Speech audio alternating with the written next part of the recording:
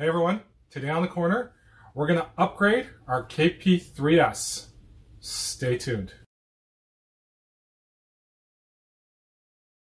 Hey everyone, I'm Jeff. Welcome back. Today, we're going to discuss some upgrades for this KP3S Kingroon sub $200, almost 150 bucks US, really, printer. Um, I've had it for a little bit now. I've been playing around with it. I've gotten some really good prints off of it but I've also noticed a couple of shortcomings with it that we're going to try to address here. There's a couple of mods I'm going to do today. I'm going to um, try to address a few issues like the fans. Uh, here's an example of the current fans are 30 mil fans and this is a overhang test. We're going to see if we can get that better by installing some better fans.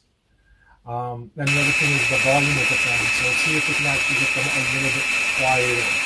So I'm going to replace the hot end fan with a 40 mil fan, 40 by 40 by 10, and then we're going to put a blower on the um, the cooling fan, and we're going to see how that works. I'm going to link part descriptions down below in the description. Um, you don't have to get those specific parts. You can get them from whatever vendor you want.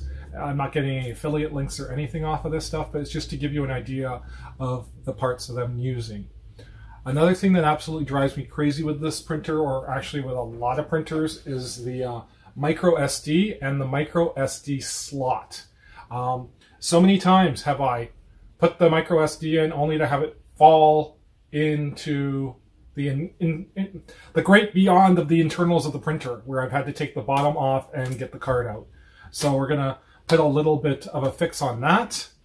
Um, also, the whole color scheme here. We got the red, we got the black and the orange, and then we got these ugly yellow knobs. Um, I'm going to put some orange knobs on there to sort of tie it all in. So stay tuned because there's a lot to do. Okay, so this is our KP3S, and this is our hot end cooling fan. And this is our part cooling fan over here. So what my plan is, is that I have a, a 30 mil to 40 mil bracket. I'll put the links below to all these parts in Thingiverse. But we're going to put this over here. Put this over here. So we have a 40 mil cooling fan on there. And then um, we have this part here that will be able to attach a blower fan on. And we're just going to move the cooling fan from this side to this side and we'll have the blower fan on there. So that's our first step of this upgrade. So with these two, I'm hoping I see an improvement. Here is the overhang test that I did with the original equipment. I'm going to put replace these two fans um, and then I'm going to run this test again. But I'll have to, because when I ran this test the first time, I ran it this way.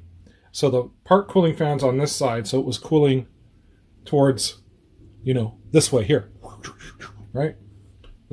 So with the part cooling fan on this side, when I run this G-code again, what I'll have to do is I'll have to swap it around so I get a more non-biased result. So with all that said, let's start the modifications. Okay, first thing we're going to do is we need to trace our wires and figure out where they are going to be going on the board. So I'm just going to take off these little pieces of Velcro for now. And we'll put those aside. Actually, I have a, here, I have a bin over here that I have all the parts in that um, whenever I do a project like this, I try to do all my printed parts, get all my screws and everything all in the same area. So it makes it a lot easier to um, you know, find everything, right? So just a little quick tip, try to keep all your, your, your keep all your crap together, people.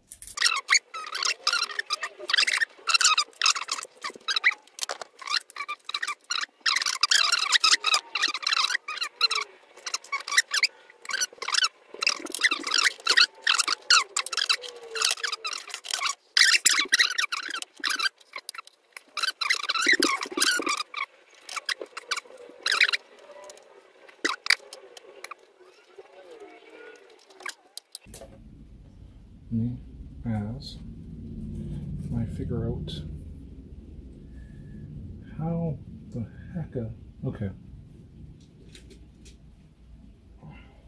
Mm -hmm.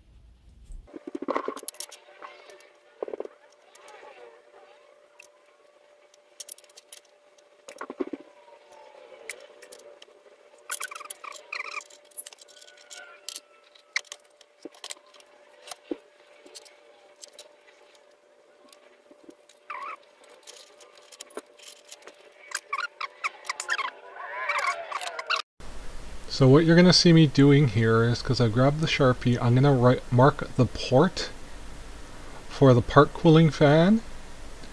So this way, when I put this back together, I'm going to know that the part cooling fan is the one port and the hot end fan is another port because the hot end fan is always on whereas the part cooling fan only comes on when you tell it to. And now, simply because of the fact that my fan wires are too short, I have to set up my soldering station in order to extend those wires. So that's what I'm going to be doing now. I'm going to be soldering the wires. Uh, I'm a lousy solderer, so I don't think, I'm pretty sure I didn't record this, which is fine. Um, so we'll move on to the next step. So fans are done. I did have to solder um, a little bit and I used um, a DuPont connector kit in order to get the ends proper. So that's all done. We're going to clean up a little bit here. Now we're going to move on to the next phase. Just putting the sucker back together. So as I begin to reassemble the hot end, it's always a good idea to have a um, spare set of screws uh, M3s, M2s, M4s, M5s. You can get random kits readily available on AliExpress or Amazon. I have a couple of random kits of various screw sizes. Just for projects like this, I needed to use a couple of extra M3 screws in order to mount the blower fan. So as I say, it's always a good idea to have a few extra in your inventory. And same thing now when I am installing the hot end fan modification. I am um, using a few extra screws that I had in my kit and, and then I will install the um, the 4010 fan onto the hot end and I'm almost done. And here you kind of see me because I got a little bit out of frame getting some wire management done. I'm just attaching the wires together with some zip ties. I'm not going to put the, um, the shield on top of the wires as of yet because I do have other plans for upgrades after this mod is done. So we're getting there. We're almost done. This is the last bit. We're just buttoning it up now. Record. Alright, so I got her buttoned up and powered on. I've gone into the settings and turned on the part cooling fan, so I know that's working. And the other fan's working, and I can tell you right now, there's a noticeable volume difference between those cheaper fans and these cheaper fans.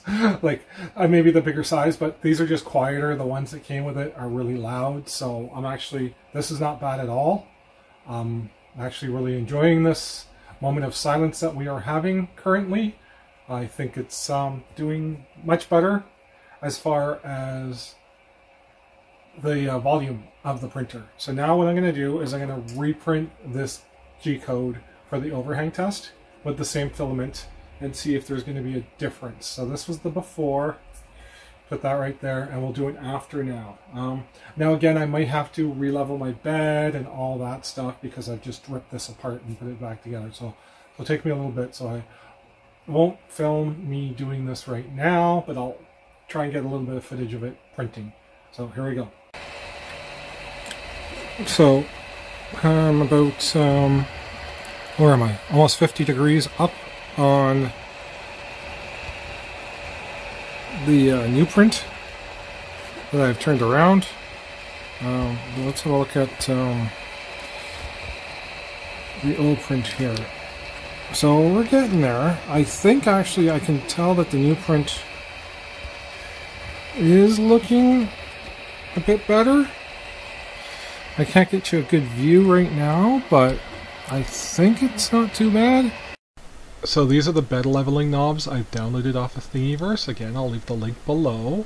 Um, however, I noticed that they weren't either threaded or they didn't have an M3 hex bolt in them and I didn't want to take apart the original bed leveling knobs to get the brass or metal insert out to put into these. So I figured I would just drill them out.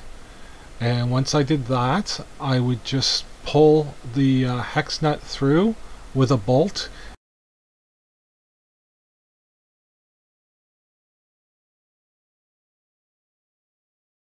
And then now it's just a simple matter of replacing all of the wheels.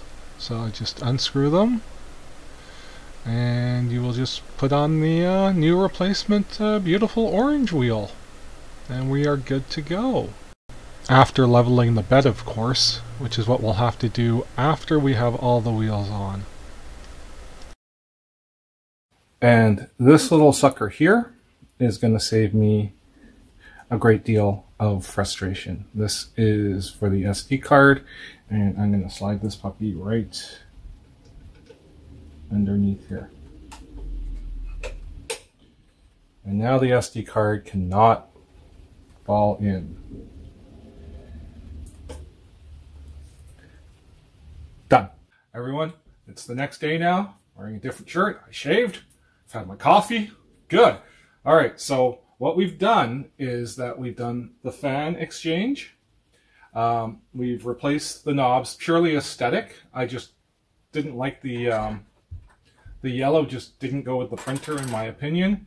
And we did this fantastic little thing that will um, save me some pain, frustration, heartache, is we printed that little um, space gap filler for the SD card. Again, I'll post all the links for all the parts I used below as you saw, um, there is, hang on, um, I've used these with my other printers.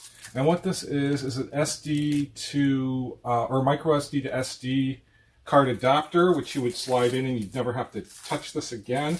I just didn't quite know where I was going to place this. So this might be a part of a future project, but for now, I'm okay with this being that gap filler, so at least I know my little SD card isn't going to fall into the abyss of the innards of the printer. But um, let's talk about the upgrades. Um, so again, the wheels, I only needed M3 nuts. Uh, you saw what I did. Um, I had to drill them out a little bit because the uh, the model I downloaded off of Thingiverse, um, I didn't want to take the interior out of these ones to put them in the other ones. Um, in the future, maybe I'll just uh, model a, an M3 outline for a nut in the base of these and then just re-upload it to Thingiverse. I haven't gotten there yet. Um, the next thing was, as I said, the SD card reader, which was great. It worked fantastic. And finally, the most expensive thing, which is going to cost you maybe five, ten bucks, is to upgrade the two fans here. Now, those two fans made a world of difference. The machine is quiet. Like I can talk beside it now without having a jet airplane going off. Um, even with the, uh, hang on, let's see here. Let me put the uh, cooling fan on here. Settings, fan. That's with the cooling fan running now. Night and day from before, I'm telling you. Um, like it's great. Like I can actually work around this printer now. I don't have to lock it in the room and walk away. The uh, results too, I'll, I'll post some pictures but they're pretty incredible. Um, the, the biggest difference is, as you can, let's see here, if we can focus, focus, focus. The one on the left is with the new fans. The one on the right is with the old fans. You can see huge difference there on the overhang. Right, so you're going to get better prints with this too. So this is phase one of the upgrades for the KP3S here. Um, that's why I haven't put the harness back on or anything because I'm going to do a few more things. This is the most economical upgrade you can do to get the biggest bang for your buck um, without messing a whole bunch with your printer by simply replacing the fans. The SD card thing, uh, it just it's costing you a bit of filament. Same with the knobs, a couple of, um, and that, this is purely aesthetic, this one. The SD card, um, I think it's practical, very practical, because I, I don't like micro SD cards at all for printers. It's just, they never seem to get the gaps right. I've had one, two, two different printers with the micro SD cards other than this one, and they've always been a pain in the butt. okay. Um, but yeah, so the fans are fantastic. Um, this is be the uh, the level one upgrade, the most cheapest upgrade you can do. You can get the fans for a couple bucks off of AliExpress. I'll post a link down below. I'm sure you, you can get them off of Amazon for a little bit more, but get them to your door quicker. And going forward with this now, uh, I'm going to do a phase two or a level two upgrade, which will be replacing the current extruder with a BMG um, dual gear extruder and um, the hot end with a V6 hot end. I'll keep the same fans though. So I've already done the work for that. That's kind of why I haven't done this. And I'll also put a some form of auto leveling sensor on this machine. So yeah, those are the plans for the next video. I'm going to try and get that done for you as soon as possible, as soon as my time allows. But um, if you like this video, you know, hit a thumbs up or a like down below. If you want to see more content like this, please subscribe to the channel. Until then, all right, everyone, take care. Have a great 2021, hopefully, and peace out.